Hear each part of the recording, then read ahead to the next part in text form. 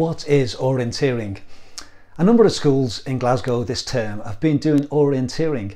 I know a number of my colleagues, active schools, have been taking sessions and showing boys and girls how to use a map and how to find clues around their school. So we thought it'd be helpful to do a little video on a little bit more about what is orienteering. Orienteering involves finding your way on a course using a map and compass. Competitors have to find their way from checkpoint to checkpoint, called controls, in the shortest possible time. So they must decide on the best route without getting lost. I'd like you to watch this short clip and I want you to look out for what equipment you can see that you need to do orienteering.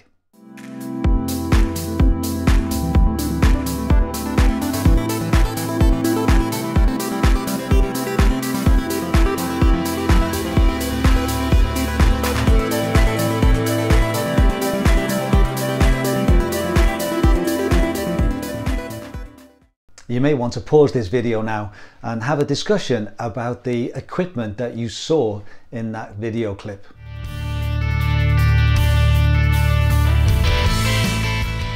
Hopefully you picked out various things there.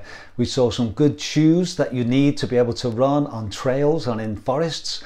You saw a map, you saw a compass, you saw a thing called a dibber, and you also saw a control that they have to find. This next video is two boys who are keen orienteers, uh, Alexander and his brother Edward. And they're going to just show you what you need and what the equipment is for orienteering. So watch carefully and you'll find out a little bit more about how it works. Before you orienteer, you need the right equipment. First, you need a control description holder. Control descriptions go in this holder and they tell you where you've got to go next and what your control's on. Next you need a dibber. This is an electronic device that records your time and proves you went to the control. This you put in an electronic box and it beeps. Then it records your information. You will need a compass to tell you which direction you have to head in. And finally, of course, when you go to the event, you'll have to get yourself a map to tell you the exact place you have to head for. Now you're ready to do orienteering. So if you do a proper orienteering event, those are the equipment that you will need and that you'll be given to be able to take part in the event. Now the most important thing in orienteering is a map. If you do a cross-country race or any running race that just involves following a course, you don't need a map because the organisers tell you where to go. But orienteering, what makes it so fun is that you have to decide the route and so you have a map. And there's a number of maps that have been made of our schools in Glasgow by Blair Vaddock. And here's a couple of examples of a couple of the schools that I work in. So this one is Crookston Castle and you can see here it's a great map colour and you can see where the pitch is, the school is in black, all the fences are all marked and it's really helpful to be able to do a little fun event at the school. And the next one is Sandwood Primary School. Again, this is one of the schools that I work in and it's great. It's be able to set up a course. They've got plenty of grass around the school. They've got a MUGA, they've got a pitch. So I can put controls all over the school so that the boys and girls have great fun trying to find them and we can have an event. This next little video is uh, how to understand a map and what the different things mean. So look out and try and see if you can listen and, and spot what the water is, what paths are, what contours are, and it'll give you a little bit of an idea of how a map is put together. Okay, let's have a look at an orienteering map. Brown symbols on the map show the shape of the ground, and contour lines join points of equal height. Water features in blue include streams, ponds and marshes, for example. Paths, rocks and man-made features, such as statues, are shown in black. Colours are used to show different vegetation, with yellow showing open land, white being open woodland or forest, and different shades of green showing thicker forest. The maps all have north lines drawn to magnetic north, that's the same north as on a compass. North is always at the top of the map, and maps are always drawn to scale and have a scale bar on as well. Maps usually have a legend, which tells you what the different symbols mean. So we've seen equipment, what we need, we've seen the importance of the map. So let's have a little watch of this video of how it all comes together. So let's go back to Alexander and his brother Edward and they're going to show you how an event works and how they use their map and their dibber to find the controls and find their way around the course. This one, this video class a little bit longer but I hope you enjoy it, but it gives a real sense of how it all works. First, you must dib the clear box. This clears your dibber from all other information that might be on it. Next, go to the check box. This checks that you've cleared your dibber. Let's follow Edward round his course. Here he goes. He's dibbed the star and off he goes. Before you orienteer, you need to look at your map. First, get the compass round the right way. The red arrow on the compass must be pointing the arrows at the top of the map.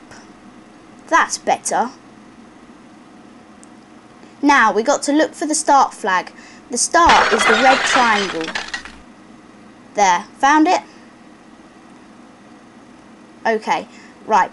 These black lines are paths. To get to Edward's first control, he needs to follow some paths. Off he goes. Go!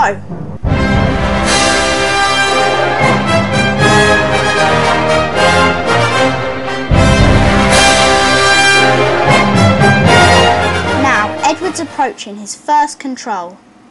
So, let's check the number on his control descriptions to check it's right. It's number 1 and it's 75 post. So, what's the... Yep, it is 75 and yes it is on a post so it must be the right control. Now Edward will dib it and it's time to look at your map again to find number two. Now put the map the right way and here we go. To get to number two we have to follow this path. So following the path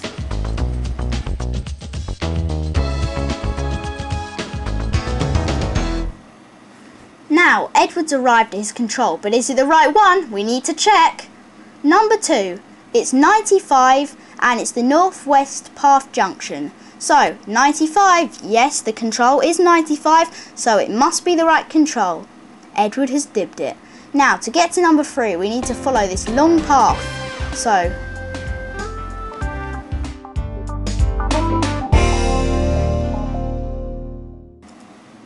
That was quick to get to that control. But is it the right control? Let's check. Number 3 is 66 on a post. But this control isn't on a post, it's 67. It's on a bench. That can't be the right control. No. So Edward runs on. And here it is. Is this it? Yes, Edward's found that it is. He's dibbed it.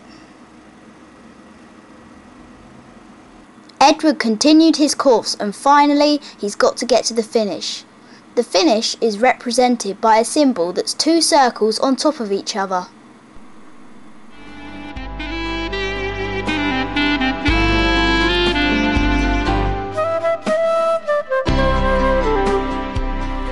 And here he goes. Yes, he's done it. He's reached the finish. And that's your basics of orienteering.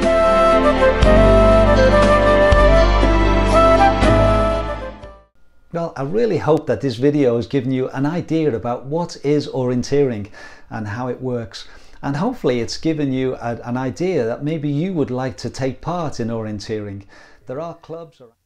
To find a club, go to scottish-orienteering.org and click on find your local club and you can scroll down and find local clubs from there. The other thing you can do is to use that same site uh, scottish-orienteering.org, press on permanent courses, and then you can find courses. And if you scroll down, there's loads and loads of permanent courses in parks. For example, you could go to Pollok Park, and they've got three or four courses there that are set up. So here's a map that you can download, and then you could have a go with your parents and see if you could find the different controls. So that's something you can have a go at if you wanted to. Just going to finish with a final video and this is just again just a, a, few top British orienteers talking about why they love this sport so much. Orienteering is a fantastic sport, a great adventure and I really enjoy it. You can play to your strengths. I think it's just really about committing to the route, choosing one and then going for it. If you can keep your direction through the terrain, moving as fast as possible and keeping the orienteering as simple as you can, then ultimately, then you've got the potential to win the race. So go out and have fun. Thanks for watching this video on what is orienteering and look out because there will be more videos coming soon.